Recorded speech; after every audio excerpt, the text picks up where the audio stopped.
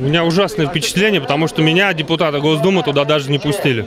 А чем мотивировали? А мотивировали какими-то своими понятиями и внутренними инструкциями. При этом я им процитировал э, пятую часть, стать- э, пункт 2 закона о статусе депутата, который позволяет мне беспрепятственно проходить в любые э, государственные учреждения, и для них закон не писан. Прослу- И, а вообще я сюда пришел, потому что ну, невозможно этот беспредел больше терпеть.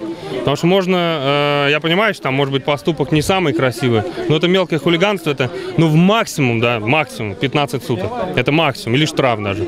А то, что им там сначала 7 лет хотели девчонкам дать, потом э, сейчас, насколько я знаю, прокурор требует 3 года, это абсолютно несправедливо, тем более в стране, где реальные жулики и воры э, не то, что не наказаны, они зам- продолжают замещать должности, они продолжают э, работать, э, на- э, так сказать, в органах государственной власти, и при этом их еще награждают. Ну, например, Чурова, который фальсифицировал выборы.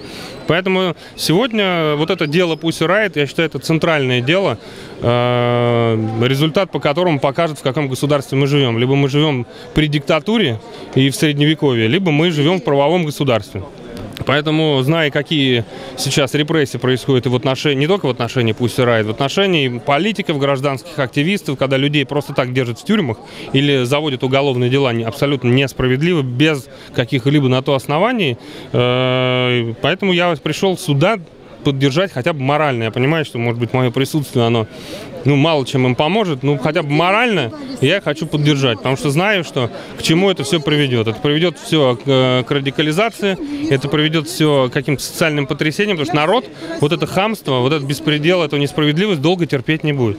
Дмитрий, вчерашние прения сторон и сегодняшние выступления подсудимых, э, как вы считаете, что-нибудь это изменит, смягчит суд э, э, приговор или, или это уже решено? Я человек опытный, прекрасно понимаю, что такие решения принимаются не вот в этом здании, а все эти решения принимаются на самом высоком уровне.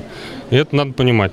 Поэтому власть либо будет выбирать путь репрессий, но тогда это будет арабский сценарий, который плохо закончится для этой власти. Я думаю, что это максимум полтора-два года, потому что народ больше терпеть не, не сможет. Либо власть все-таки э, Даст задний ход? я бы даже не так сказал.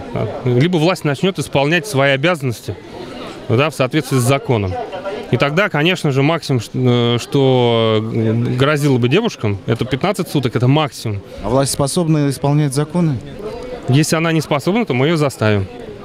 Ее можно заставить. Да, ее можно заставить. Я думаю, что 15 сентября на марш миллионов выйдет еще больше людей. А когда выйдет, просто власть должна понимать, когда выйдет миллион, а он рано или поздно выйдет, потому что сейчас к политическим протесту еще присоединятся те, кто бу- будет выходить на социальный протест. Потому что рост тарифов, э, штрафов и вообще развал ЖКХ, он придет к тому, что миллион реально выйдет. И тогда у нас, у депутатов, у, там, у Навального, у Дальцова никто спрашивать не будет, что делать. Просто люди пойдут и возьмут то, что им надо. И никто их остановить не сможет.